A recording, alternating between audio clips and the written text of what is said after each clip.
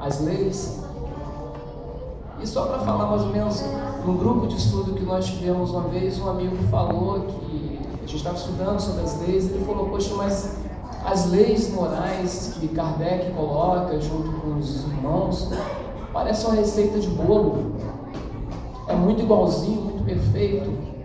E o nosso orientador na época falou, olha, realmente, se você seguir a receita direitinho, o bolo vai sair gostoso. Se você não seguir a receita como deve ser, ele vai sair meio solado. Mas tem gente que gosta de bolo solado. Então fica a critério de cada um como que vai seguir essa receita né, dada para a gente. Não tem título ainda que eu escrevi. Depois a gente pode até botar na simetria, vi que a, a casa tem compositores, pode transformar uma canção, quem sabe? Vamos lá. Encarnados com uma missão, cada um de nós é uma individualidade envolvidos no preceito cristão de justiça, amor e caridade.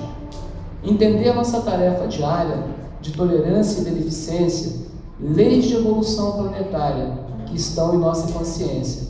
Todos os credos, todas as raças, disciplina, disciplina e disciplina. Agradecemos e damos graça, e em prece pedimos proteção divina. Humanidade terrena com discernimento, não vim destruir as leis, e sim dar cumprimento.